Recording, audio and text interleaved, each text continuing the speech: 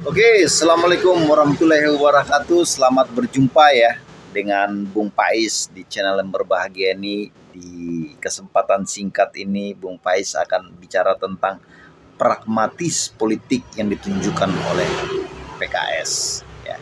Sahabat-sahabat sekalian, ya PKS di 2024 ini besar kan karena Anies. Salah satu faktor yang terpenting ya bahwa itu nggak bisa dihindari bahwa uh, akar rumput uh, eh, PKS itu sangat menyukai dan menyenangi Anies ya. Dan kita tahu di pilkada sebelumnya juga udah memilih Anies dan terbukti menang ya. Tetapi sekali lagi PKS ini adalah partai yang menurut saya kurang pas atau kurang menyadari dirinya bahwa uh, apa namanya tuh kader-kader mereka nggak ada yang boleh dikatakan secara popularitas ya. Itu nggak ada yang bisa menyentuh hati rakyat secara umum di luar uh, apa kroni-kroni mereka di luar uh, lingkaran mereka aja. Nggak ada saya rasa. Boleh ditunjukin satu nama. Mungkin ya uh, Gemal An, apa Alban Said itu anak muda yang sangat luar biasa. Tetapi tetap harus dipoles uh, menjadi terkesan dia liberal atau terkesan dia bisa diesep oleh banyak pihak ya. Mungkin satu-satunya kader saat ini yang saya lihat yang cukup dan sangat baik yakni Albin Said itu ya. Sahabat-sahabat sekalian ya uh, kita tahu ya bahwa PKS sudah mengusung Anies ya. Oke, kita lanjut ya bahwa uh, di Pilpres sudah mengusung Anies ya. Dan kita tahu juga uh, di Pilkada DKI 2024 ini PKS linglung sepertinya ya karena selalu menyodorkan apa namanya kader-kadernya yang tidak populis sedangkan pemilu harus Anda mempertimbangkan itu populisnya itu popularitasnya atau bisa diterima atau resisten yang rendah eh, kejelian orang-orang PKS ini terlalu kaku dalam memaknai politik sehingga banyak mereka kalah di dalam pilkada-pilkada eh, menyeluruh. Apalagi kita dengar berita sepintas ya bahwa mungkin ada kesang di apa uh, apa Bobby di Sumatera Utara yang dukung ya kalau tidak salah tolong dikoreksi.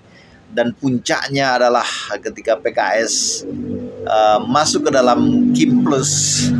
Itu jelas ya melukai hati rakyat pemilihnya karena pragmatisme yang paling utama itu ditunjukkan di situ.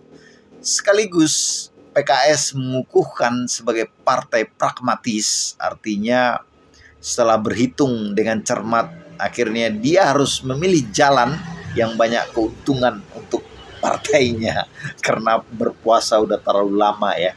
Sahabat-sahabat sekalian, PKS sudah salah langkah ya. Harusnya dia menunggu keputusan MK. Mungkin ya tim intelijennya kurang canggih ya boleh konsultasi sebenarnya dengan Bung Pais uh, sekali lagi nggak ada jalan lain kecuali PKS harus menjilat ludah dia sendiri harus mendukung Anies. Tetapi sekali lagi ya mungkin di situ ada transaksional ketika dia masuk ke uh, Kim Plus bahwa dia pun harus mendukung uh, pilkada. Dan itu bisa bisa saja terjadi. Sahabat-sahabat sekalian sekali lagi uh, Caimin ya PKB, PKS ya telah menunjukkan uh, pragmatis dia di akhir-akhir memulai dengan baik tapi akhirnya tergoda di ujung jalan sehingga akhirnya uh, mungkin ya sebagian besar hinaan akan cemoohan akan jatuh ke mereka dan dia harus memperbaiki itu dengan menjilat ludah dia sendiri. Dan saya rasa hari-hari berat PKS ke depannya itu akan terlihat. Karena sekali lagi pragmatisme yang ditunjukkan oleh uh, pengikut-pengikut yang uh, ortodoks ya. Apabila PKS ini kan pengikutnya banyak ortodoks. Ortodoks dalam arti kata fanatik. Dan apabila itu ditunjukkan kepada uh, fanatik maka elit-elitnya itu dianggap telah melakukan pengkhianatan sehingga para pengkhianat itu menurut pengikut-pengikut ortodoks dan fanatik itu harus dibegal pada akhirnya dan mereka pasti akan kalah. Thank you. Politik pragmatis dari Bung Pais.